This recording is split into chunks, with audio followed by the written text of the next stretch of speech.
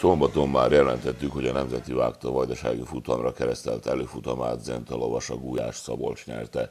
Nem ő lesz azonban Vajdaság egyetlen képviselője a Budapesti Nemzeti Vágtán, hiszen ott lesznek még a tegnapi döntősök Cékus Árpád Kishegyesről, meg Báló Attila Szabadkáról, továbbá a Kishuszár futam győztese a 16 éves Bács-Fekete hegyi Konc Dorottya, meg a Nemzeti Vágta tavaly győztese, egyben címvédője, a Temerini Nagy Arnold is.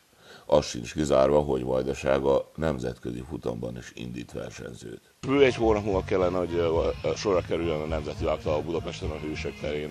Október 10-ét és 11-ét tűzték ki műsorprogramnapként.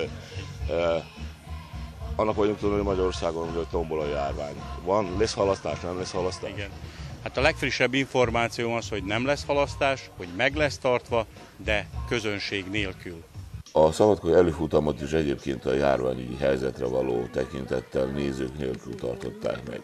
Mondjuk még el, hogy a vajdasági futamon 20 lovas indult, közülük heten a kishuszároknál, 13-an pedig a felnőtt mezőnyben képviselték településeiket.